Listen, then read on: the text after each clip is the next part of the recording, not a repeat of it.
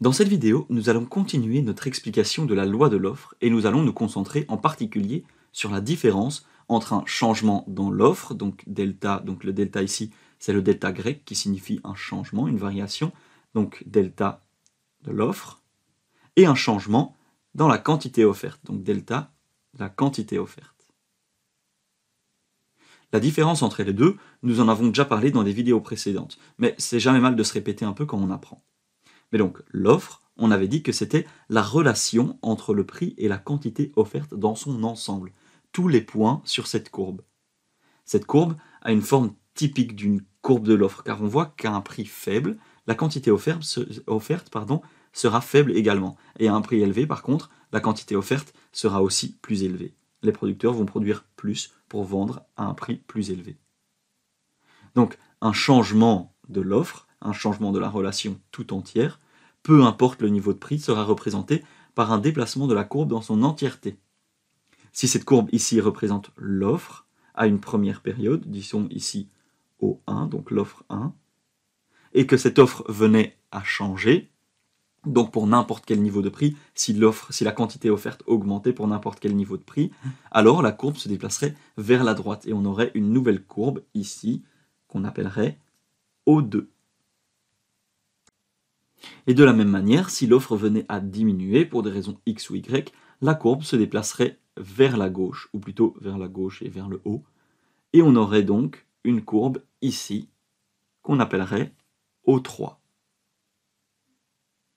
Ces deux exemples-là, c'est donc bien des changements de l'offre. Si maintenant on veut parler de changement de la quantité offerte, ce qu'on va observer, c'est un déplacement d'un point le long de cette courbe, le long de notre courbe initiale. Disons par exemple que notre point d'équilibre initial, ici, se trouve là, à un prix qu'on appelle P1, et une quantité offerte qu'on appelle QO1. Dans ce cas-ci, si par exemple le prix augmente et passe de P1 à P2 ici, alors, étant donné qu'on se déplace le long de notre courbe, la quantité offerte va être également modifiée. On va arriver à QO2 ici. Mais donc, un changement de l'offre se traduit par un déplacement de la courbe vers la droite ou vers la gauche, alors qu'un changement de la quantité offerte se traduit par un déplacement le long de notre courbe d'offres. Maintenant que nous sommes tous d'accord avec ces différences, je propose de prendre quelques exemples, comme nous l'avons déjà fait dans d'autres vidéos, et de voir si dans telle ou telle situation, on va observer un changement de l'offre ou un changement de la quantité offerte. Notre premier exemple va être celui-ci. Que se passerait-il si le gouvernement décidait d'imposer un prix plafond? Donc, ici, le gouvernement fixe un prix plafond pour un bien.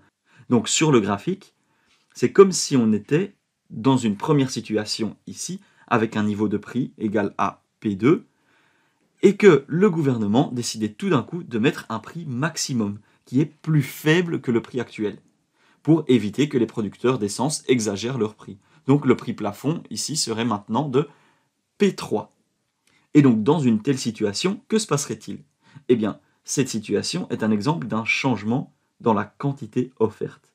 On avait une situation originale avec un niveau de prix P2 et une quantité offerte associée à ce prix P2, donc QO2.